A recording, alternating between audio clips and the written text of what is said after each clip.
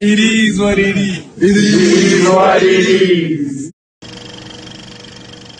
Um, I don't think anybody needs to say that the Cowboys have to win this game on Sunday against the Green Bay Packers, but I'll say it anyway. They need to win this game.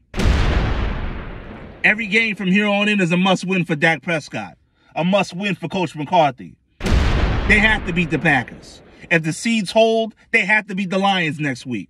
They must. NFC Championship or bust. Nobody's worried about the Eagles. Nobody's scared of the Eagles. I know the Cowboys are scared of the Lions with that scare a couple weeks ago. Even though Cowboys left points on the board.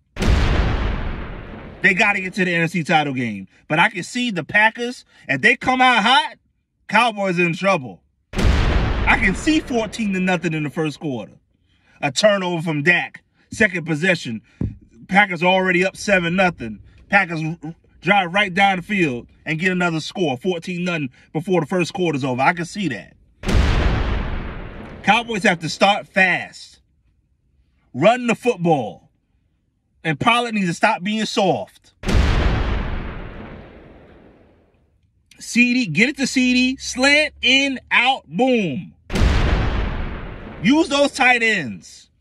The Cowboys, they cannot afford to lose that game. And they can't lose that game because the Packers have enough talent. They have talent on the outside. They have two good backs. They don't have two elite backs. They have two good backs. And Jordan Love can look like Aaron Rodgers. He has the exact same release as Aaron Rodgers. Facts. Anybody in the comment section say different, I'm going to flame you. He has the exact same release point that Aaron Rodgers does. But it's a scary game for everybody. If you support the Cowboys, you're worried this week. This ain't no automatic victory. They get through this week, they go against the Lions next week, and that's not an automatic victory. So if it's not 49ers Cowboys NFC title game, or maybe, dare I say, maybe the Eagles beat the 49ers. They ain't doing that. They ain't doing that. But this next this week right here, must win.